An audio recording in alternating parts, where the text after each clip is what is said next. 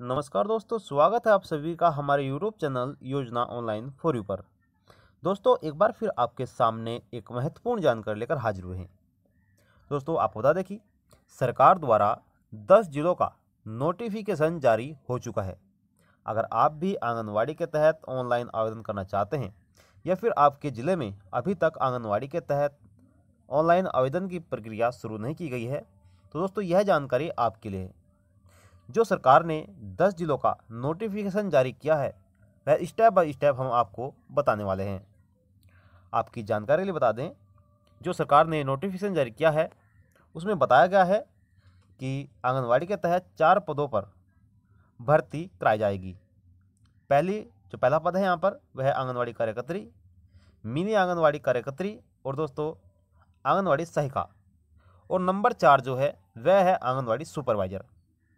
Supervisor के पद पे भी ऑनलाइन आवेदन कराए जाएँगे, लेकिन यह सभी जिलों में मान्य नहीं है। कुछ जिलों में मान्य है और वह कौन कौन से जिलों में मान्य है, हम आपको यहाँ पर स्टेप बाय स्टेप सब कुछ विस्तार पूर्वक बताएँगे। कौन व्यक्ति सुपरवाइजर के पद पर ऑनलाइन आवेदन कर सकता है और कौन व्यक्ति सुपरवाइजर सुपरवाइजर के पद पर ऑनलाइन आवेदन नहीं कर सकता है? किस तारीख से यहाँ पर ऑनलाइन आवेदन शुरू कराए जा रहे हैं? अंतिम तिथि क्या है? यानी कि संपूर्ण जानकारी आपको यहाँ पर मिलने वाली है। क्या दस्तावेज़ लगेंगे? और दोस्तों, जो नए नियम सरकार ने जोड़े हैं, वह कौन से नए नियम हैं? क्या पात्रता है? यहाँ पे आपको संपूर्ण जानकारी मिलने वाली है। अगर आप भी यह संपूर्ण जानकारी हासिल करना चाहते हैं और आंगनवाड़ी के तहत ऑनलाइन आवेदन करना चाहते हैं तो दोस्तों, आपसे निवेदन है कि वीडियो को शुरू से लेकर अंत तक ज़रूर देखिएगा। वीडियो को पूरा वॉच करें, क्योंकि स्टेप बाय स्टेप हम आपको आज संपूर्ण जानकारी देने वाले हैं। तो दोस्तों, वीडियो शुरू करते हैं।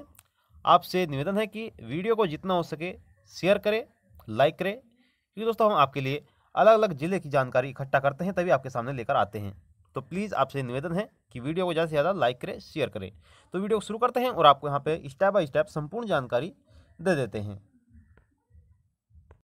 महिला एवं बाल विकास संस्था की तरफ़ से एक बड़ा अपडेट जारी हो चुका है। इन दोस्तों, जो यहाँ पर नोटिफिकेशन जारी किया गया है, उसमें आंगनवाड़ी को लेकर चर्चा की गई है।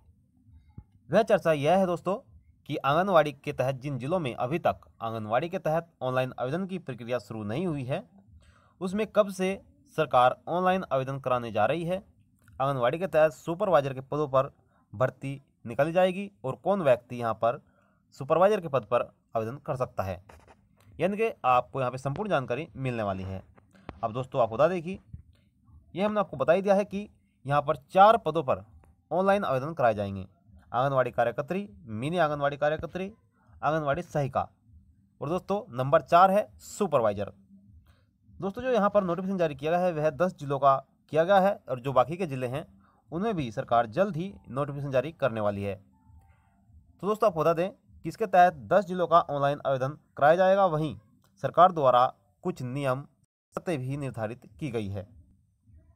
दोस्तों आप बता दें, आंगनवाड़ी रजिस्ट्रेशन करने के लिए अलग अलग पद पर अलग अलग योग्यता सरकार द्वारा निर्धारित की गई है।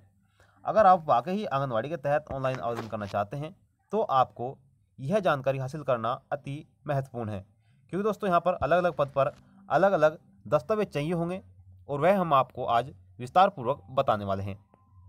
दोस्तों, पहले आपको वह ज़िले बता देते हैं जिन जो सरकार द्वारा नोटिफिकेशन जारी किया गया है और जो सरकार ने दस ज़िले यहाँ पर दस जिलों में आंगनबाड़ी के तहत ऑनलाइन आवेदन करने जा रही है। नंबर एक पर है आपका अजमेर, नेक्स्ट है अलवर, फिर है आपका बंसवाड़ा, नेक्स्ट है आपका यहाँ पर बारह और नेक्स्ट है दोस्तों आपका यहाँ पर बाड़मेर।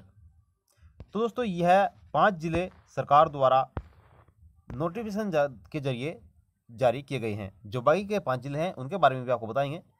दोस्तों, इन ज़िलों में जो हमने पाँच ज़िले आपको बताए हैं, सरकार द्वारा इन ज़िलों में आठ मई से ऑनलाइन आवेदन की प्रक्रिया शुरू कराई जाएगी।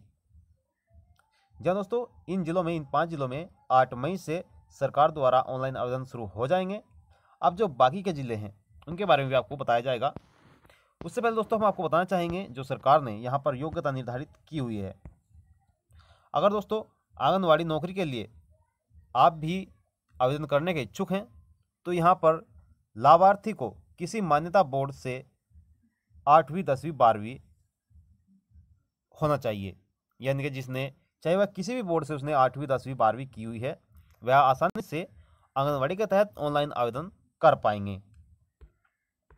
अगर आप आंगनवाड़ी कार्यकर्त्री के पद पर ऑनलाइन आवेदन करना चाहते हैं तो आपको यहाँ पर बारहवीं पास होना चाहिए।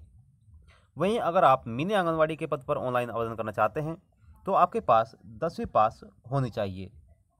वहीं अगर आप आंगनवाड़ी सहायिका के पद पर ऑनलाइन आवेदन करना चाहते हैं तो आपके पास आठवीं पास होना चाहिए। अब दोस्तों, जो आगे जानकारी दी है, वह भी आपको यहाँ पर बता देते हैं। दोस्तों, जो यहाँ पर आयु सीमा दी गई है, वह विज्ञापित जारी होने की तिथि, यानी कि जब भी आपके ज़िले में विज्ञापन जारी होता है, उस तारीख को आपकी न्यूनतम जो आयु है, वह 21 वर्ष होनी चाहिए और जो यहाँ पर अधिकतम आयु दी गई है, वह 35 वर्ष दी गई है। यानी कि अगर आप सुपरवाइजर के पद पर ऑनलाइन आवेदन करना चाहते हैं तो आपकी उम्र 21 से 35 वर्ष होनी चाहिए। वहीं दोस्तों, अगर आप आंगनवाड़ी के तहत, आंगनवाड़ी कार्यकर्त्री मिनी आंगनबाड़ी कार्यकर्त्री के पद पर ऑनलाइन आवेदन करना चाहते हैं तो आपकी एज यहाँ पर 21 से, और दोस्तों 40 के पास होनी चाहिए। वहीं दोस्तों, यहाँ पर कुछ एससी और एसटी के बारे में भी जानकारी दी गई है। अगर आप एस सी की कैटेगरी में आते हैं तो दोस्तों, यहाँ पर बताया गया है, अधिकतम आयु में निम्न प्रकार की छूट दी गई है। आप यहाँ पे देख सकते हैं एस सी वर्ग के लिए 21 से 40 वर्ष की अधिकतम आयु यहाँ पर निर्धारित की गई है। अब दोस्तों, आप यहाँ पर देख सकते हैं कि विधवा तलाकशुदा और परिवक्ता के लिए भी यहाँ पर 21 से 45 वर्ष, यानी कि इसमें पाँच साल की छूट दी गई है। अगर विधवा तलाकशुदा भी ऑनलाइन आवेदन करना चाहती हैं तो उन्हें 21 से 45 वर्ष के बीच उनकी आयु होनी चाहिए। अब जो बाकी के ज़िले हैं दोस्तों, वह भी आपको बता देते हैं। अब बाकी के ज़िले कौन कौन से हैं और उनमें कब से आंगनबाड़ी के तहत ऑनलाइन आवेदन कराए जाएँगे और सुपरवाइजर के पद पर कौन व्यक्ति ऑनलाइन आवेदन कराएगा, कर सकता है, वह भी आपको यहाँ पर बताया जाएगा। अब दोस्तों, नंबर एक पर है यहाँ पर भिलवाड़ा। नेक्स्ट है बीकानेर। नेक्स्ट दिया गया है यहाँ पे चित्तौड़गढ़ और दोस्तों, चूरू। और नेक्स्ट है यहाँ पर धौलपुर। तो दोस्तों, इन ज़िलों में सरकार द्वारा जो ऑनलाइन आवेदन कराए जाएँगे, वह 10 मई से बाद में, यानी कि 10 मई से इन सभी ज़िलों में सरकार द्वारा विज्ञापन जारी कर दिया जाएगा। अब बात आती है दोस्तों कि आपकी जो सुपरवाइजर पद है, वह कौन व्यक्ति ऑनलाइन आवेदन कर सकता है और किन ज़िलों में यहाँ पर ऑनलाइन आवेदन कर पाएँगे। अब दोस्तों पहले हम आपको बताएँगे कि ज़िले में, किस ज़िले में है ऑनलाइन आवेदन कराए जाएँगे। तो यह आवेदन सुपरवाइजर सुपरवाइजर के पद पर केवल उसी ज़िले में ऑनलाइन आवेदन कराए जाएँगे, जिन ज़िलों में सुपरवाइजर के पद पर वैकेंसी खाली होगी। यह किसी भी ज़िले में, सभी ज़िलों में भी हो सकता है दोस्तों, और किसी ज़िले में नहीं हो सकता है तो आप विज्ञापन में देख लीजिएगा कि आपके ज़िले में सुपरवाइजर के पद पर वैकेंसी निकाली गई है या नहीं निकाली गई है, उसी हिसाब से आप ऑनलाइन आवेदन कर पाएँगे।